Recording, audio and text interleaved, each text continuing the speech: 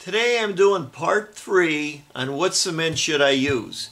And I'm going to talk about fast drying cements. Now when I started my YouTube channel back in 2010, I wasn't using any fast drying cements because they really didn't have them out that much. The only time you'd see it is if they're going to put railings in or steel something and they, they'd put bolts in and they'd make a little liquid and they'd stick it in there and it'd harden quick. But now it's available to the public and it's more available. You can go to the box store, Lowe's, Home Depot, maybe Ace, I don't know, and you could buy this stuff. So I'm going to tell you what I use it for, how I think about using it, and what I do and what I don't do when it comes to uh, using fast drying cement. Now the first one I'm going to talk about is Rapid Set Cement All. That's the name of it. And actually there's no sand in it. It's just like if you're going to do railings or something. And you get in here and you add a little water to it. It comes out like a paste. Just like a paste with a little more to it. And it's kind of gooey. Like that. See it? That's the way it is. It's gooey and it moves. So if I'm doing steps or something, I used it on church steps. I started using it on curbs. And then sometimes I'd even add a little sand to it to give it a little body. Because within an hour it goes up to 3,000 pounds PSI, which is pretty, pretty strong. That'll be a footer kind of concrete. And then after six days it goes up to 7,000 pounds PSI. So that's really strong.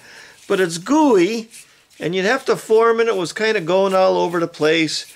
And another thing you can't do or you shouldn't do is make a paint out of it and paint anything like a driveway or anything because you have to have more than a quarter inch uh, to make it really stick. Now the exception to the rule is if I was going to go over something and fill in all the cracks, then I'd have to wait and then I'd paint it with a paint or I'd go over with a Portland and then it would stay. But all by itself, it's not good for just painting. See how it's getting a little hard already? It's no good for painting. You'd use this for like going over steps where you have to go real thin and then you have to smooth it off really good and then you paint over it and then it's good. Now this stuff, the Air Force came out with Rapid Set and the reason they made this fast drying is because when they wanted to land planes in bombed out areas, they could put the cement in and it dries really quick and they could be landing planes on it. And the highway department uses the same stuff. So let's go over what I use this for and what I don't use it for. I could use this for iron railings and I have because it's gooey and it seeps down in there. It, it fills in little holes and I do not use it for a paint. Like you paint a driveway with Portland. No, I go over it with Portland. I'll fill in some holes with this stuff, but I'll have to paint it first. The winter will, will cause havoc on this. But it's a great for everything else, like iron railings or bolts or anything like that. That's what I use it for. So I'm going to talk now about the mortar mix. Now I know it says mortar mix, but through my experience, I don't really think it's a mortar. It's almost like a concrete. The only difference is it has some sand in it. And it acts like a mortar as far as if you're using a trowel. It has body to it and it'll hold stuff up. I did a whole video on this and I showed the videos I used it on. Now the difference between this and this is they reach in here and I don't know if you can see it, but it's got sand in it. So when you take that, you add water to it, it acts as if just like if you were using a trowel. It's got body to it. See, it, it'll hold up to a point where the other the other uh, rapid set wouldn't do that. It has sand to it. So in the old days, when we put a window in, and I did videos on windows using this stuff, we'd have to go put the window in, and then we'd put traditional cement all around it, which is mortar or Portland, and then we'd have to wait and come back the next day and fill in all the little cracks and all the little shrink marks. This stuff doesn't shrink. You put the whole window in, an hour later you're done and you can leave. So let's just say I'm blocking up a window. People are getting the landscapers there or something has to get done. They're blocking up a window. I could go in and block it all up and An hour later I could leave. It's it's like I put it in a week ago. So that's I like it that. When I do chimneys, a lot of real estate people are selling houses and I do a lot of work for real estate companies. And what they want to do is they want to sell the house. The inspector says, well, the chimney's cracked and the bricks are missing. And I go up there and I use Rapid Set. I do it all. Maybe it's going to freeze that night. I do it all, hour and a half, two hours, it's done. I don't have to go back and check it. Same thing with foundation repair. Sometimes these real estate people, well, you got to patch the hole in the foundation and you got to patch it. The inspector will come back and say, that's fine. When I do concrete patchwork in the summer, I, all the sides of the concrete fell off. I formed it. I use this stuff. I put it in. It works good. So I use it. It's got body in it. And you can see it. It's getting harder. It acts like traditional cement. And that's why they call it the mortar mixed. But I really don't look at it that way. And I put this stuff, I got a cup like this. And I put this in and out of the freezer. 120 times. I kept adding water to it and seeing how bad it lasted well. It took me a few years to really trust it, but I really trust it a lot. So that's why I'm telling you that, and I got to get this bowl back to the girlfriend before she finds out I borrowed it. So what don't I use it for? I only use it for small jobs. If you see me doing bigger jobs, anything more than a bag of this, I usually use traditional cement. The only time I use this is if I have to get it done quickly for some reason. Windows, I could even use it for a little stucco. I've used it for stucco before. It's a great, real fast repair mortar. If I wanted to add some gravel to it and make it into a concrete, I could. Now they sell a concrete mix, but I don't use that. I use a different one. I use this type. I'll explain that as we go. But it's just for little small jobs that I have to get done quickly. Never use it for big jobs. I never use it for a paint or anything like that. Never had any trouble with it. Never had any callbacks. And that's what these videos are about. I tell you what my experience is using these products and how it works in my area. So now we're going to go to the other high performance mortar. Now this is another type of cement I use. It's called Fast Set Repair Mortar. And it's the same thing. It comes ready mixed. It already got the sand in it. It's hard to see. But you mix it up, and this stuff really acts like mortar. Now, if I'm doing a chimney, like I have to go up high, I got to do a chimney or something. This stuff acts like real mortar, real cement. Just if, if I was using traditional cement, except that it dries faster.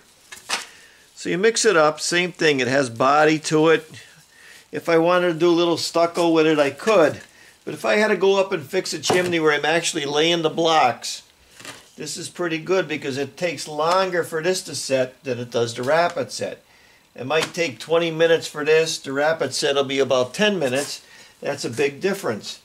If I'm doing a, a window or glass blocks, I also use this if I want to take my time. So what I mostly use this for is it takes longer for this to set than it does the rapid set. The rapid set is about 10 minutes. This takes about 20 minutes. And it's just like traditional cement, except it sets fast. So I could use it for if I'm fixing like a set of brick steps, I'll do that. If I'm doing something like glass blocks, I could use it for that. If I'm doing a little bit of stucco, I could do it for that. So a lot of different things I use it for. If I and they have a retarder for the rapid set, but why do that? If instead of using a retarder, I'll, I'll do this, and I could fill it in, it acts like the regular border. I haven't had any problems with that. Well, this stuff is mostly interchangeable. If I use this stuff, it's usually up and down, and if I use this stuff, it's usually laying flat because of the weather. But yeah, it just you have to play with it for a while to understand it. As soon as you go into a store, you got to feel this stuff and make sure if it's it's not hard, because if it's hard, don't buy it. And every time I come home, I get some plastic bag and I cover everything, and it'll last. You get another couple months out of it, keeping it in your garage. So that's it. You got to use it as you go, and then you figure out how it works. It's expensive. I only use it mostly on small jobs when I want to get in and out the same day. Now we're going to talk about this fast setting concrete mix. Same thing. The thing is with this, it's got the little rocks in it. See those little rocks? That's what concrete is. If you take this stuff and you add some sand and some rocks to it, that's basically what concrete is. So when you go to patch something, these rocks, they get in the way. So I don't use it for patching anything. I might use it to uh, put another sidewalk in or something like that. Now this, see, this is regular concrete. That's what it is. And the only difference is between uh, the fast drying and the slow drying, the regular, is this dries a lot faster. Anymore they use this around fence posts and everything. The old timers never used anything around fence posts. They put the post down and they fill it with rocks all the way around and pack it. But this stuff, if you go to patch something, the rocks get in the way. So I very ever never use it unless it's a big hole I gotta fill in, something like that. Now what do I use this for? If I do, do make sidewalks, like if it's just a small sidewalk, I'll go get 10 bags of this, I'll mix it up and I'll put it in. I can also mix it with the slow drying. I have done that. They don't say to do that, but I've done it I never had a problem. I also use it for under pavers or uh, if I do like a barbecue grill or something and I'm doing a little area where I'm going to put the pavers on top, or a paver sidewalk, I use the same stuff. I'll mix it up. It dries real fast in the summer. Put the pavers on top. I'm done. I made wall caps out of it. I use it for forming and making things out of it. It works very good for that. Now, if you ever want to know how I patch something, go to my concrete patch videos and I show you. And you'll rarely ever see me using this. You'll always see me using the rapid set or the repair mortar or something like that because it's thin and the rocks don't get in the way. See all these rocks would be in the way.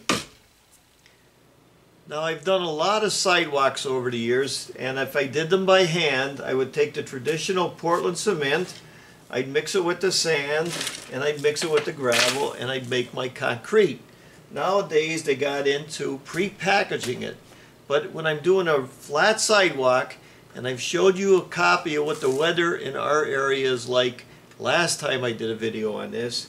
If I'm using their kind of stuff to lay a flat sidewalk where the weather's going to directly hit it, I like to take a trough full of traditional Portland and add it to that. And I think that makes it a lot stronger because for our area, I think they make this a little too weak.